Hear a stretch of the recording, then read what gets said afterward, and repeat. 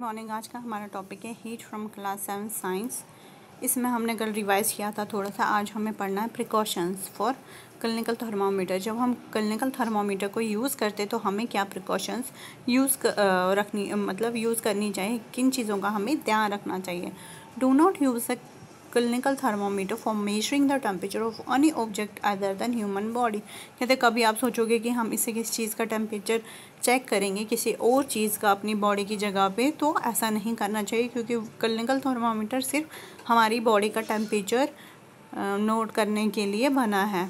Also avoid keeping the thermometer in sun और near a flame it may break कहते हैं कि thermometer को सन या किसी भी जहाँ पर आग जल रही हो या गैस वैस हो, उससे दूर रखना चाहिए। ये क्या हो सकता है?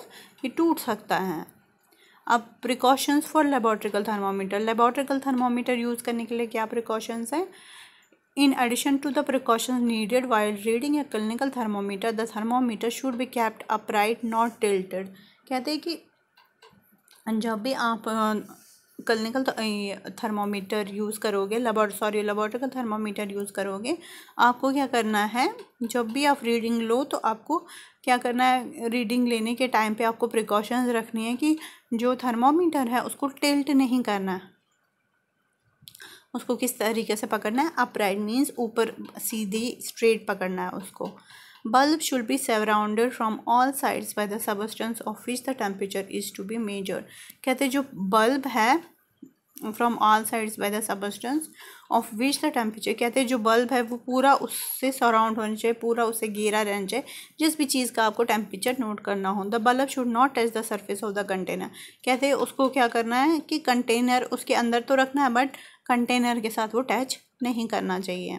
जैसे इस पिक्चर में दिखाया गया, इन्होंने कैसे पकड़ा, सीधा पकड़ा थर्मोमीटर बट थर्मोमीटर का जो बल्ब है, वो इन्होंने पानी में डाला है बट जो बल्ब है, वो थोड़ा सा गिलास से ऊपर की तरफ़ है।